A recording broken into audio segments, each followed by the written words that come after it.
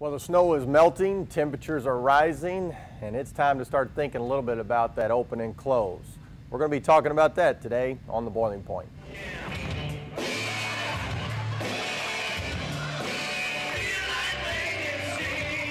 Well, it's Daniel Ware, our operations manager here at Ware. Yes, we are related, the much younger, much taller, uglier. But anyway, hey, we're talking about open and close today. Daniel, why don't you talk a little bit about the um, open and close, why we have them, um, and, and, just basically what you do. Okay. Um, when we do an open and close for, for our annual inspection, we're going through, we're opening up all the fire side on the boiler, you're opening up all the water side, and what you're looking for is you're looking for scale in the boiler as well as you're looking for any type of soot buildup on your fire side. Um, when you're uh, on, from the fireside, from a scale buildup standpoint, uh, you know, about an eighth inch in the fireside is equivalent to about a 47% heat loss. So you want to make sure that the, the, the, fire side of your boiler is in good shape and is uh, nice and cleaned out. Now, um, when, the, when you're doing the inspections, is this something that's done annually on um, fire tubes that are steam or hot water? Or yes, both. Um, it's done annually for high pressure units. If it's 15 pound design systems, that's every two years. Okay. Yeah. All right, well, Daniel, um, when we're back here on the, uh, the rear door here, um, basically, are they opening up everything when we're doing that open and close? Absolutely. Uh, you're wanting to take your, your top doors off as well as open up the, uh, your main rear door. Uh, when you're opening all this up, what you're really looking for, again, you're looking at the fireside as well as the refractory on the back door. You're making sure that the refractory is intact. If it's the refractory's all falling out, we can do minor repairs. Um, but, but if it's all falling out, you take the risk of burning up your rear door um, so you always want to make sure that the refractory is in, is in good shape. Any type of cracks? I mean, is there a certain crack that you're like, you know what, we've got to fix that? You know, it's really just, you know, a, a, lot of judgment calls. If you can stick your finger in it, it's probably going to be too big. Okay. Uh, we like to go through and, and pick out some of the refractory, and then we can do some minor patching on it. Okay.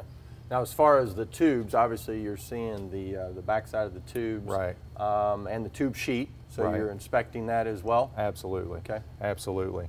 If you do find cracks in the tube sheet, um, which is a good indication of fire cracks, it's always good to do a mag particle test on the tube sheet so you can get that crack repaired to eliminate any damage that could occur.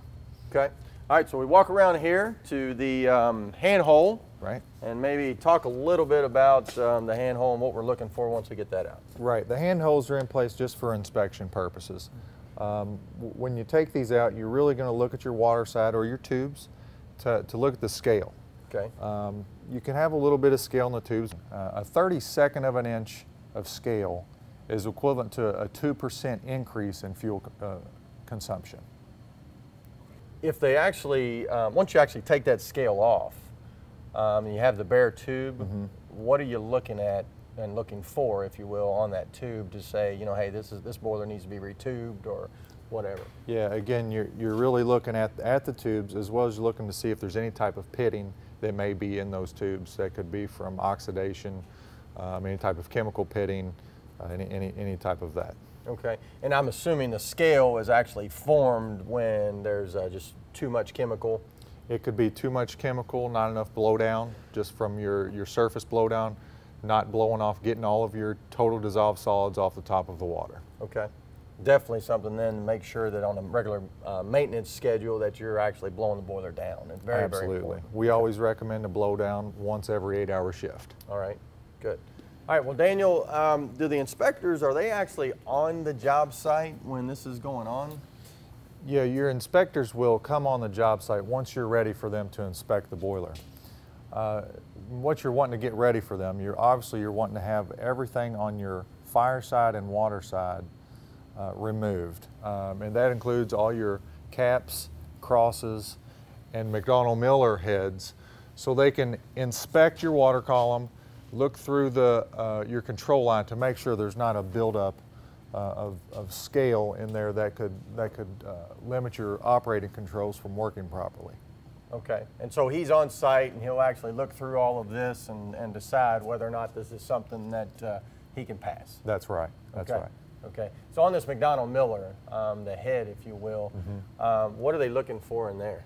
Again, they're looking inside of here to make sure that there's not a, an excessive buildup of scale that could limit the float from working properly, or that could clog this line up, that could stop that line up and, and trick this thing to look like it's full of water. Okay. Okay. Um, obviously, the manway on top of the boiler that needs to be out as well for Mm-hmm. Yes, them. Okay? absolutely. They can actually look down and see the tubes. and- Yes. Okay. Yes. All right. All right. So the inspector he checks out everything. Everything's great. Um, I'm assuming from there you're filling the boiler, putting everything back. Well, yeah. Once once that's complete and you get your clean bill, um, you go through and you put all new gaskets on the fire side, water side manway. Put uh, put your caps and crosses, your McDonnell Miller head back on. Um, you button the boiler up. You go ahead and fill it up, and get ready for your uh, uh, for test fire. Okay. Yeah. And upon that test fire, I'm assuming we're moving into the burner, and we want to make sure that everything is, um, I guess, in tune. Yeah, it, it's always a great practice. Once you're done, and go ahead and put a put an analyzer on the boiler, um, and check it and make sure your O2s are where they need to be. Uh, make sure you have proper combustion. Safeties. Yes, absolutely. Um, we always check your safeties, uh, your high limits, your running interlocks, uh, to make sure everything is functioning so you have a, a safely operated piece of equipment. Okay. So the boiler gets all started up, it's all tuned, and uh, um, I guess highly efficient and really an optimal performance after a boiler Absolutely. inspection. Absolutely. All right, man. Appreciate you stopping by. All right, man. Thanks for hanging out. And uh, make sure you check out the website. You see a little bit more about the, um, the open and close. And we'll see you next time on The Boiling Point. Well, we appreciate Daniel stopping by and talking to us a little bit about the open and close. Obviously, that annual open and close inspection is something very, very important. Check out our website under the preventative maintenance section, and you'll be able to see a lot more and a little bit more detail about the preventative maintenance as well as the open and close. Also, like us on Facebook, follow us on Twitter, and make sure you subscribe to that YouTube channel. And we'll see you next time on The Boiling Point.